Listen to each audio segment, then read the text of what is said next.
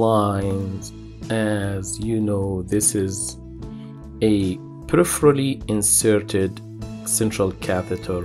As you see that's the reason we say it's peripheral because it's inserted in the arm mainly kind of brachial vein and then the catheter uh, all the way through I think axillary vein then subclavian vein then superior vena cava just above the right atrium. That's the right position and it's called peripherally because as I said we insert through peripherally through the arm compared to centrally inserted central catheter where you go directly through the IJ or through subclavian.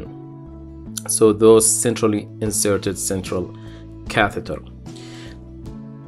The PICC line can work similar to long-term catheters like tunneled um, catheters or short-term like IJ and subclavian. Which means for long-term the PICC lines can stay for weeks. Of course it cannot stay as long as the tunneled catheter like Hickman catheter or port A cath or permacath but can go for a few weeks um, so it can and it can be used exactly like short-term catheter in critically ill patient in ICU you can use PICC line because you can infuse the same medications and PICC at the end it's a central line right? Usually placed by intervention radiology or specially trained person like in my hospital we have IR but also we have trained nurses uh, to do PICC line compared to the centrally inserted usually uh, our residents uh, and our physician can do it. The when to order it as I said if you need a central line like IJ or subclavian PICC line can be a solution and if you need long-term IV antibiotic, the main two indications are endocarditis and osteomyelitis where you need 4 to 6 weeks for IV antibiotics.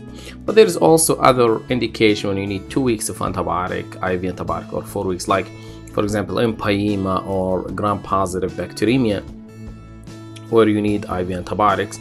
They can be used or outpatient TPN or patient who needs outpatient periodic outpatient IV fluids so you can discharge them with PICC line and you have that secured access for a few weeks and sometimes months ahead as long as it's working.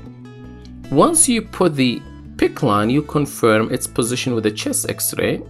As you see, the PICC line is right here. See this white line is coming this way, all the way going through the subclavian and entering uh, sorry uh, this axillary then entering the subclavian and then ending just above the right atrium and the superior vena cava. So this is a good position for the um, PICC line. So this is in perfect position. You want to make sure it's this way because you will see some lines going up uh, or ending here or going really deep here or going instead of going this way they go this way or they stop here. These are considered malpositioned catheter need to be fixed. We'll finish next video